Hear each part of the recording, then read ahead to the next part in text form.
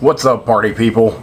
Uh, a few days ago, I watched Moneyball uh, for the second time.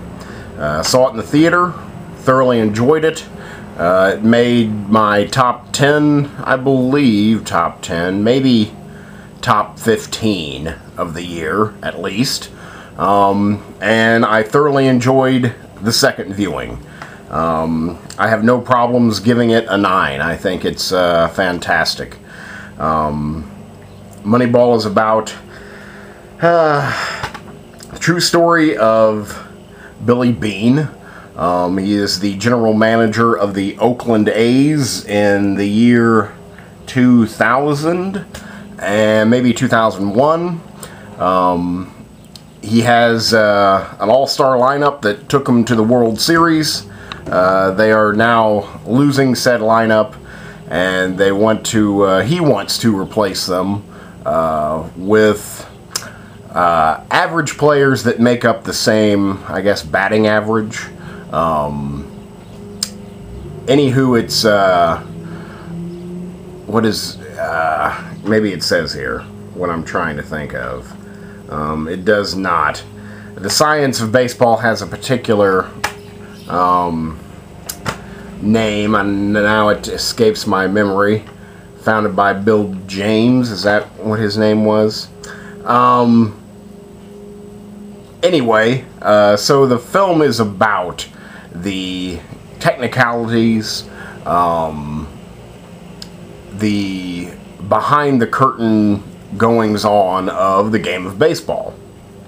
But uh, that's just the backdrop. Uh, what makes this, you know, the movie so effective uh, and so personal is that it's about, you know, a man's life and a man's struggle with achieving his goal, uh, reaching his dream, uh, and what will he do to do that? What won't he do uh, to get that done? Um, it really, it's just about life, uh, which is what makes it so powerful, I think. Um, okay, the movie stars uh, Brad Pitt, uh, Philip Seymour Hoffman, Jonah Hill, um, oh, Robin Wright, uh, Spike Jonze, um, a guy from Parks and Recreation. I haven't memorized his name yet. He's really funny in Parks and Rec. Um, uh, who else is in here?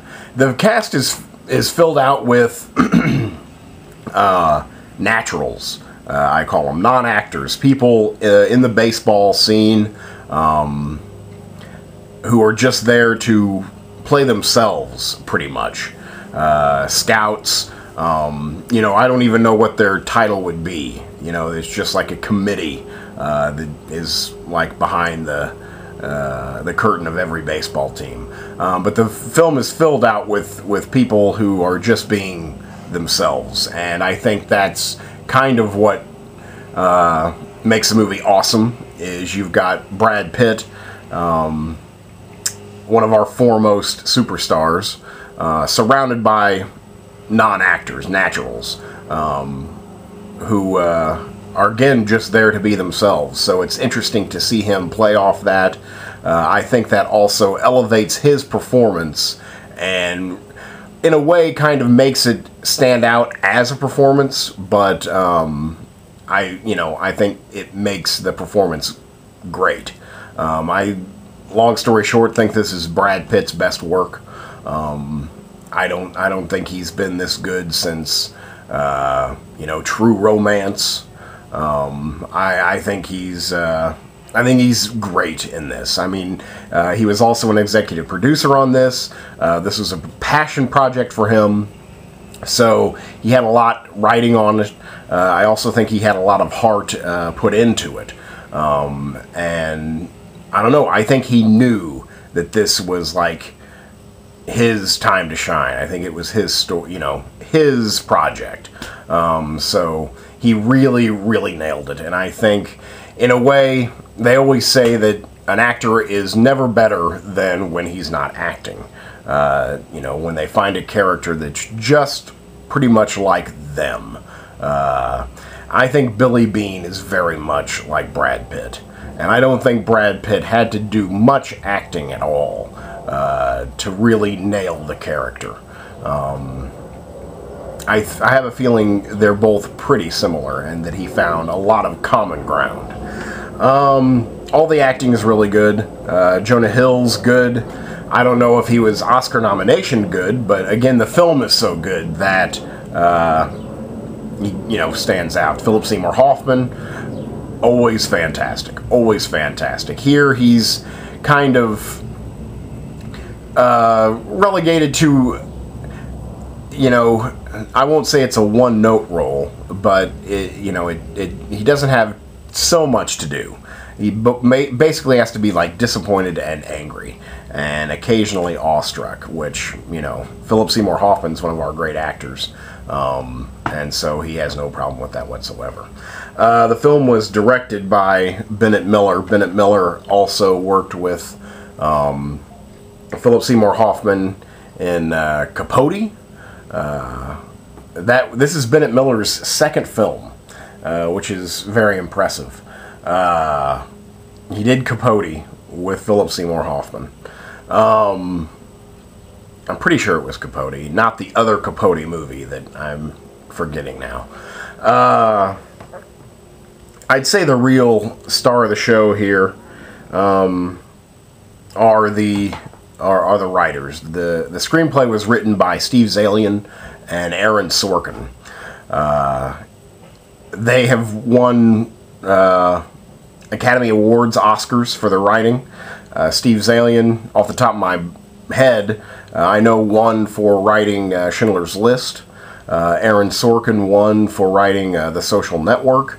I mean, you have two giants here in the writing world. So it's it's almost kind of like a dream team. I can't imagine them working together I mean, perhaps they did. Uh, I see this more of like, because it took forever to get this movie made. Uh, like something like maybe seven years and a couple different studios. Uh, again, there was much drama in bringing it to the screen. So I don't know. I would imagine that like Steve Zaillian wrote the first draft, and then like after it moved studios or something happened, and then uh, perhaps Aaron Sorkin did a rewrite. Again, I can't imagine two titans of the writing world, you know, working together. I imagine that would be some kind of ego clash.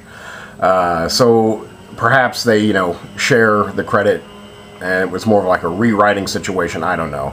Anyway, you've got two brilliant writers fleshing out these characters, and again, it's the star of the show. If you don't have a story, if you don't have a script, then you have nothing. Uh, and it makes you know it makes it seem like they have everything here, and I think that's again kind of what makes the acting uh, so good in the film is that the writing is so good. Uh, I mean, it's excellent. It, it's incredibly natural. Um, you don't have to be uh, the world's biggest superstar to make this dialogue sound, you know, cool. Uh, to make it seem natural, to make it seem just fresh. Uh, you know, it would be an actor's dream to have such a well written uh, screenplay. Um, so it, it, again, every every character you meet, even just the the minor characters who have like one scene, seem to uh, have a lot going on, and everything they say uh, like expresses uh, some level of their character.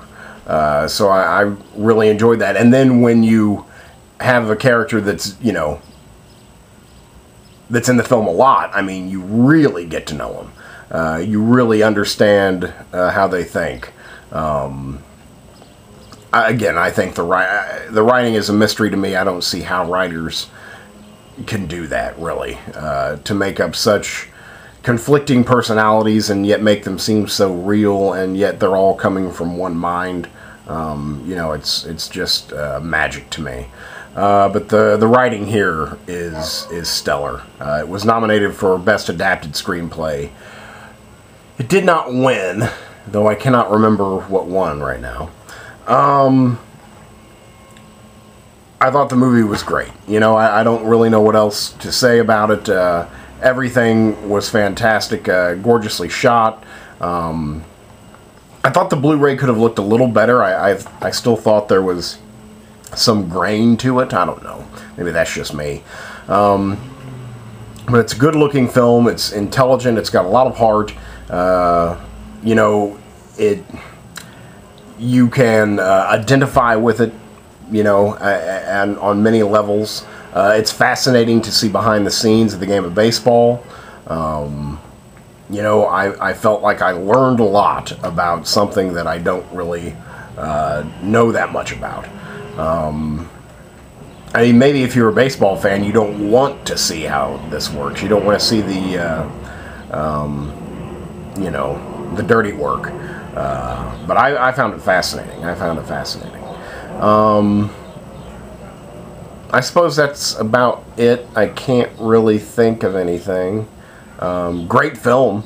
Uh, I think, you know, I'll watch it again someday. Um, and it will be a great film. I, I think it's just well made and will definitely uh, stand the test of time. And it's by far uh, Brad Pitt's best performance, uh, you know, easily. Um, good stuff. So that's uh, Moneyball. I'll wrap it up there.